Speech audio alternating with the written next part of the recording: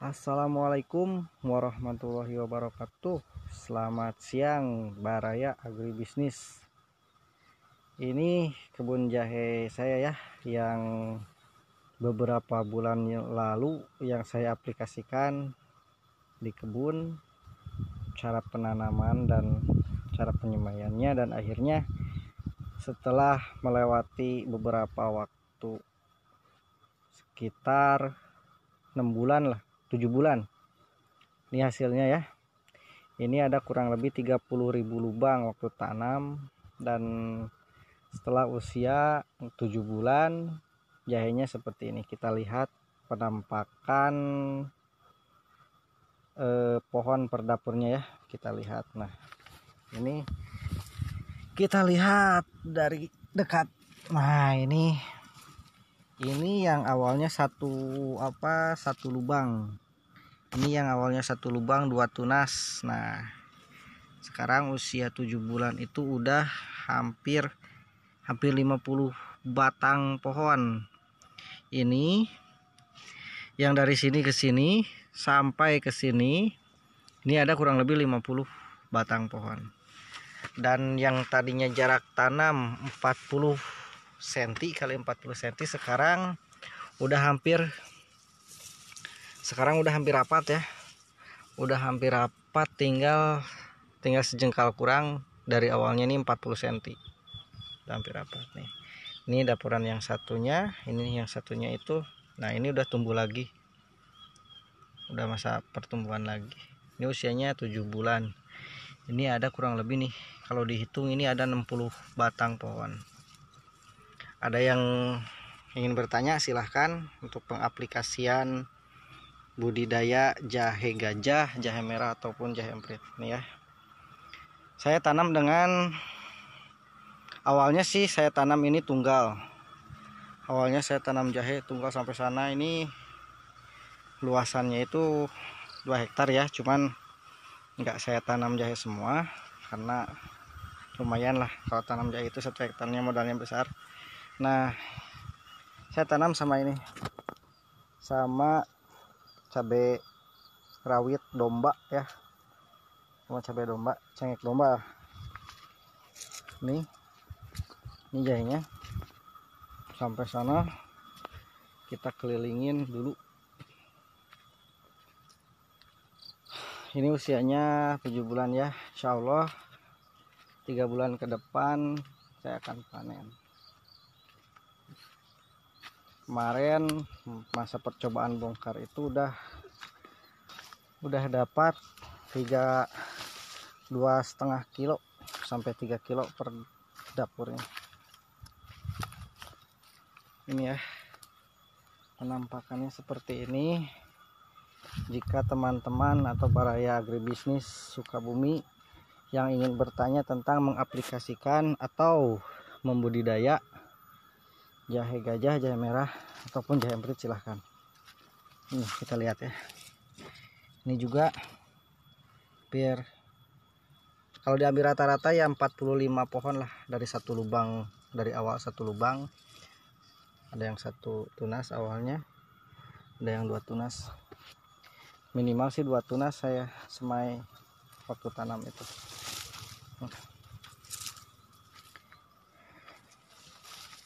ini masa-masanya penggemukan di rimpang. Daunnya hijau pekat ya. Uh sangat lebat sekali sangat banyak. Jadi aduh maaf ya nggak pakai baju. Jika ada yang mau ditanyakan silahkan ditanyakan tentang aplikasi penanaman jahe. Ini kalau dikelilingin semua lumayan capek juga ini. Kita keliling sebagian aja. Kalau udah kalau masuk ke tengah ini udah nggak bisa jalan ini. Udah nggak bisa jalan. Soalnya kalau jaraknya sih udah maksimal ya. Jarak tanamnya itu 40 cm kali 40 cm cuman ini udah udah melebihi ekspektasi saya. Dikira itu nggak bakal berdempetan seperti ini. Ternyata ini aduh jadi jadi terlalu rapat. Wah. ada kacang merah juga. Nah ini. Jadi semuanya ini hampir hampir nggak ada jarak sekarang semua hampir nggak ada jarak. Bedengannya udah bedengannya udah nggak ada yang kelihatan. Ini rata-rata hampir hampir semua rata pohonnya 40 sampai 50 batang ya. Nih. Ini satu dapur ya. Yang tadi awalnya semai satu lubang itu minimalnya 2, 2 sampai 3 tunas.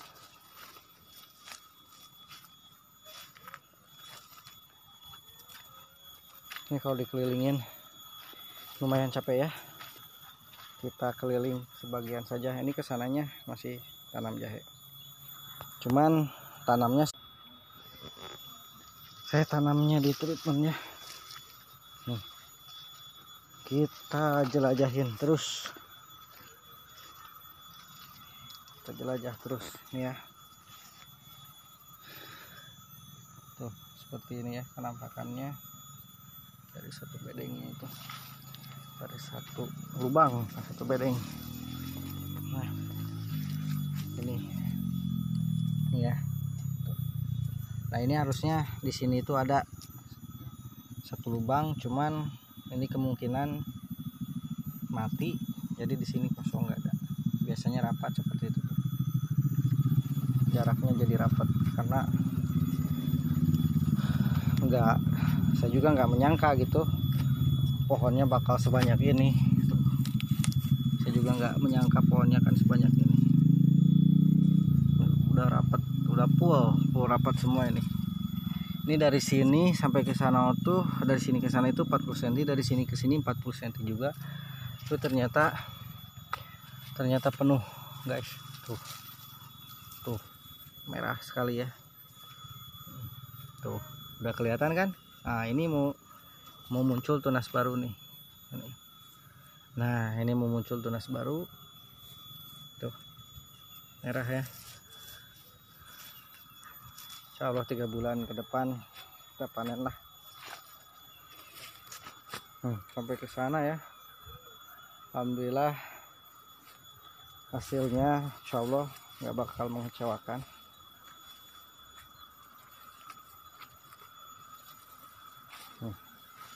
daunnya hijau.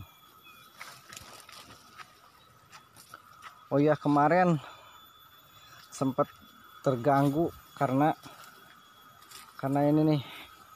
Karena di sini ada pohon apa ya namanya pohon kaung. Nah si pohon kaung ini batangnya tumbang kena pohon jahe sekitar hampir 100 pohon. Nah akhirnya kering. Karena ketiban.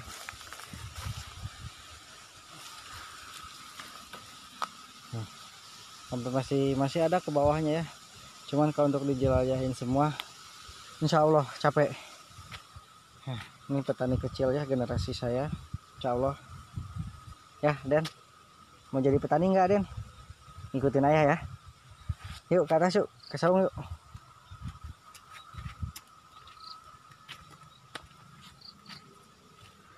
saya lagi panen kacang merah juga ya di sana di atas. Nah, nih kita berniis-niis dulu di sini.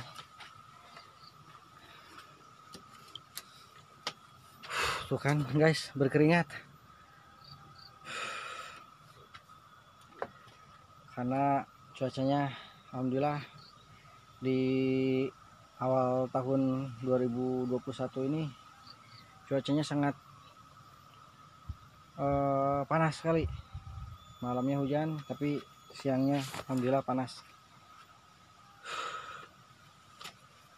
Silahkan jika ada teman-teman yang ingin bertanya langsung dipertanyakan saja. Selagi masih live kita berbagi pengalaman berbagi ilmu tentang budidaya. Jahe. Aduh untuk teman-teman minta maaf. Ini bukannya nggak sopan ya cuman gerah. Jadinya hanya pakai baju dalam aja. Tapi nggak apa-apa.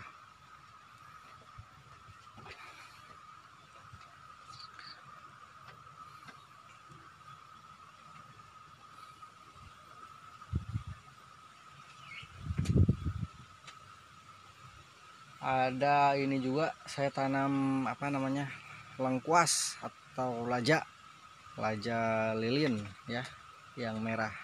Karena lengkuas merah itu untuk pemasarannya kalau menurut saya sih lumayan bagus harganya. Nggak seperti laja gunung. Kalau laja gunung harganya kurang lah. Itu di kebun itu bisa sampai di bawah 1000 kalau laja lilin atau laos lilin laja merah di kebun itu kisaran 3000 sampai 3500 untuk laos itu lengkuas kalau di harga segitu menurut saya udah oke. Okay. harganya udah bagus karena untuk apa namanya untuk biaya untuk eh, BP-nya juga nggak terlalu besar nggak terlalu mahal kalau untuk lengkuas. Tapi kalau untuk jahe alhamdulillah memerlukan biaya besar dari pengaplikasian ataupun dari pupuk juga terutama dari bibit. Terutama dari bibit itu sekarang lagi mahal-mahalnya untuk jahe. Tapi insya Allah mudah-mudahan tiga tahun ke depan harganya masih stabil. Untuk saat ini harga jahe gajah ya diperkirakan untuk yang muda usia 5 bulan itu sekitar 18 sampai 20 ribu untuk saat ini di kebun ya. Untuk jahe tuanya mungkin bisa di atas 30 ribu lah. Minimalnya 28 ribu untuk saat ini. Biasanya di pengawal tahun itu udah mulai naik-naik gitu. Hingga akhirnya di bulan biasanya sih bulan Maret ya. Awal awal musim jahe muda itu biasanya bulan Maret kalau yang tanam awal seperti saya ini biasanya bulan Maret itu udah bisa dipanen. Udah bisa dimaksimalkan. Aden banyak nyamuk ya. Tuh lihat lehernya. Tuh ini pipinya juga merah. Yang ikut-ikut terus ke kebun sih ah sama ayah. Ini anak saya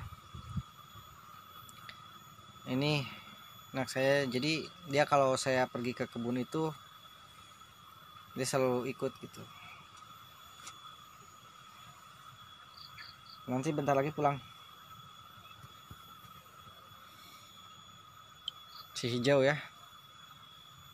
Tapi kalau misalkan teman-teman mau budidaya jahe bisa diaplikasikan atau bisa ditanam tumpang sari. Bisa dengan cabai merah keriting atau cabai rawit merah cabai domba ya cengek domba bisa. Kalau untuk fokus di cabai rawit bisa dikategorikan ini sebagai tabungannya tanaman jahe. Saya di sini tanamnya enggak sekaligus satu hamparan satu usia enggak. Jadi saya tanamnya itu per tiga bulan. Yang lahan ini contoh tiga bulan untuk tiga bulan kedua saya tanam lagi di atas di sana untuk tiga bulan ketiga saya tanam lagi. Jadi untuk satu hamparan itu saya enggak tanam sekaligus tapi saya treatment jangka waktunya tiga bulan.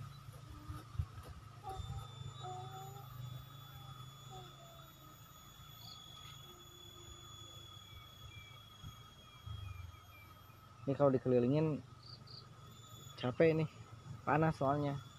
Ini kalau ke atas nanjak. Ke sana itu nanjak itu karena ini di sini eh di sini lahannya nggak datar. Ini agak sedikit berbukit. Jadi kalau dikelilingin semua lumayan capek. Itu di sana jalan ya. Di sini fasilitas apa namanya akses jalannya itu alhamdulillah bisa dijangkau sama truk. Karena ini jalan desa jalan pedesaan ke sana sampai ke sana jalan desa. Jadi bisa dijangkau lah. Di saat untuk masanya panen itu nggak kesulitan untuk transportasi. Jadi pas waktu panen itu dari kebun itu bisa langsung naik ke mobil pick up ataupun truk.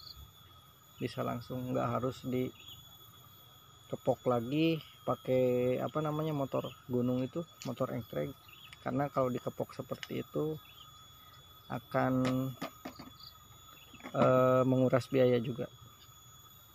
Kalau nggak salah itu kalau dikepok seperti itu 500 per kilo kalau nggak salah. Untuk biaya kulinya ya.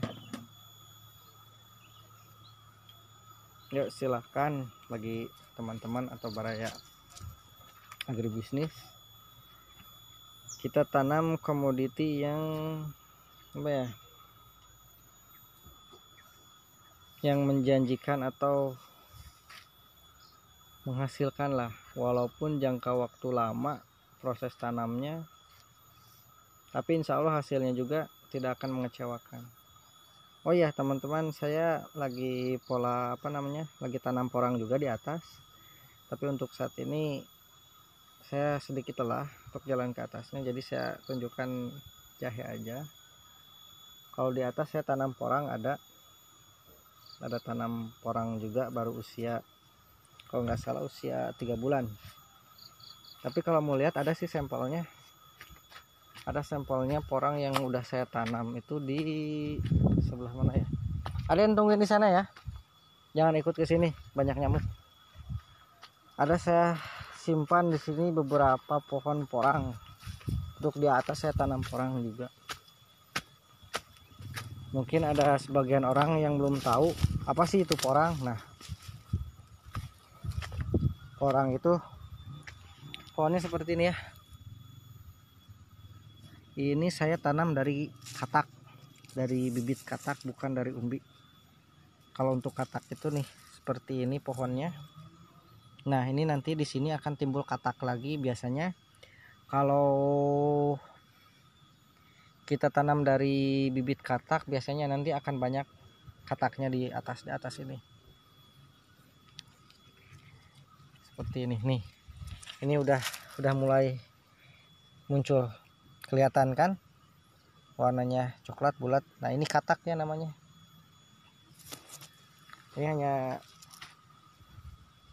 sampel saja untuk yang tanam jelasnya di atasnya di lahan atas.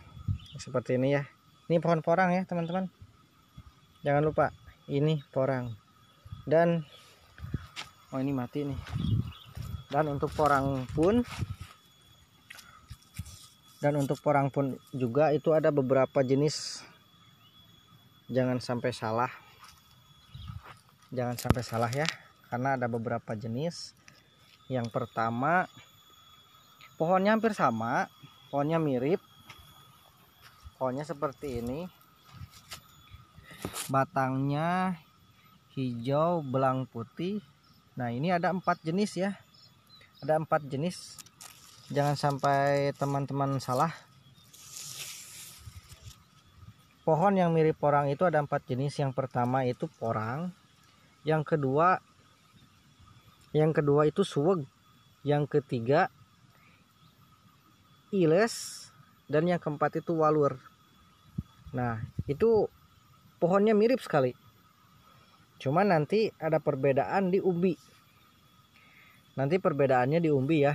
Kalau porang itu eh, apa ya namanya umbinya itu dia berwarna orange. Jika dibelah itu si getahnya itu dia akan terlihat seperti kristal nggak kering. Jadi pas waktu dibelah getahnya itu dia akan terlihat seperti kristal butiran-butiran kristal. Si getahnya nggak seperti air getah-getah biasa. Nah itu untuk porang warnanya oranye pekat. Dan ada lagi yang namanya hmm, suweg. Nah kalau suweg itu ada sedi ada sedikit oranye tapi putih. Dia biasa bobotnya itu besar sampai 5 di atas 2 atau di atas 3 kilo ya kalau untuk suweg ada juga walur dan iles. Kalau walur dan iles itu warnanya putih tapi pohonnya hampir sama kayak gini. Cuman yang dibedakannya karena nggak mungkin kan kalau dibe kalau kita membedakan yang mana porang yang mana iles atau suweg kita bongkar ubinya. Nah dari sini kita bisa membedakannya itu dari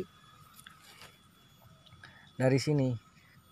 Selain dari porang itu dia nggak ada nggak akan ada ini nggak akan ada yang dinamakan katak ya. Nah ini katak ini setelah dia usia besar setelah dia usia satu tahun setelah dia usia lebih dari satu tahun karena biasanya kalau tanam porang dari jenis katak dia akan membutuhkan proses yang sangat lama. 1 sampai 2 tahun baru bisa dipanen untuk produksi umbi. Tapi kalau misalkan tanam porang dari bibitnya umbi umbi kecil yang gede-gede gini dia 7-8 bulan udah bisa dipanen dengan bobot di atas 500 gram. Cuman nantinya untuk kataknya dia nggak ada. Cuman ada satu di tengah sini. Biasanya kalau dari katak nah ini di sini ada ada eh, timbul katak di sini setiap penjuru batang ini sambungan batang ini biasanya ada tumbuh katak. Kalau kita tanam dari katak. Seperti itu ya untuk paparan porang. Kita kembali lagi ke bawah lewat sini. Sini ada daun bawang. Saya tanam daun bawang juga baru usia beberapa hari. Ini ya jangan ke sanalah ya. Sayangnya udah berkeringat. Nah, ini anak saya juga udah kasihan di apa banyak nyamuk di sini. Jadi ini tabungan ya. Dikatakan tabungan saya. Kita ayolah kita bertani. Selagi kita masih ada kesempatan selagi kita masih muda ya kita bertani sesuai dengan kemampuan dan kepercayaan masing-masing. Untuk saya insya Allah saya percayakan saya bertani di jahe. Ini udah kali berapa ya? Tiga tiga kali musim saya tanam jahe. Tapi kalau ini lahannya baru saya tanam jahe di sini baru. Ini karena lahan baru ya. Makanya dari satu dapur itu timbul banyak sekali pohonnya. Karena ini bisa dikatakan tanahnya bagus. Karena ini tanah baru yang belum pernah ditanam eh, hasil bumi atau rempah belum pernah ditanam. Awalnya ini tuh kandang ayam ya. Awalnya kandang ayam. Beberapa tahun kandang ayamnya roboh. Udah tidak diproduksi. Dan di tahun 2020 itu saya garap lahannya. Dan saya jadikan kebun jahe yang beberapa bulan ke belakang saya sudah paparkan bagaimana cara penyemaiannya bagaimana cara pemindahan pola tanamnya. Dan akhirnya setelah waktu tujuh bulan dan ini akhirnya. Hasilnya seperti ini tinggal nunggu kurang lebih tiga bulan lagi insya Allah jahenya akan saya panen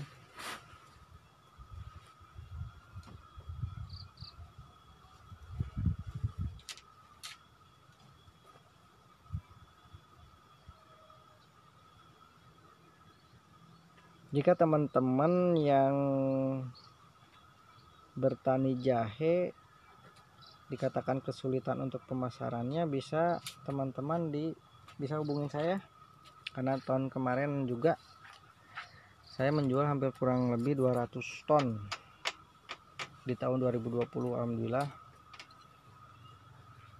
Marketnya itu saya langsung bawa ke saya masuk ke Sido muncul juga terus saya masuk ke yang di Jawa ke Karanganyar. Dan saya masuk ke Purwakarta PTBK untuk di untuk diekspor juga ya. Di bulan Agustus 2020 saya kirim jahenya ke Singapura. Jahe tua prosesnya cuci. Saya kirim ke Singapura ya. Jadi jika teman-teman yang bertani jahe jangan takut kesulitan untuk bagaimana cara untuk memasarkannya. Jangan takut ya. Insya Allah menjanjikan. Dan harganya pun terjangkau lah. Cukup untuk petani profitnya. Karena kalau penjualan jahe di atas 10.000 Insya Allah itu udah dapat profit yang lumayan ya.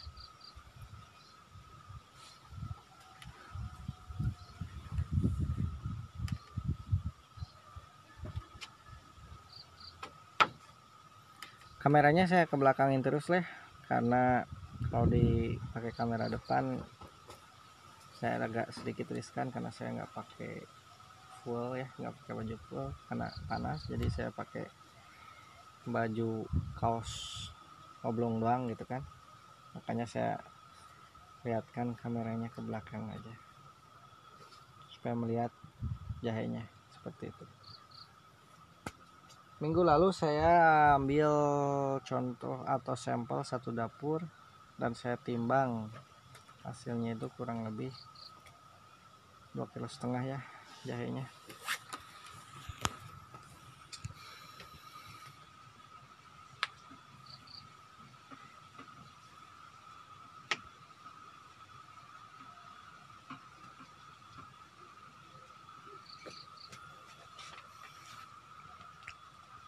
Cuacanya panas sekali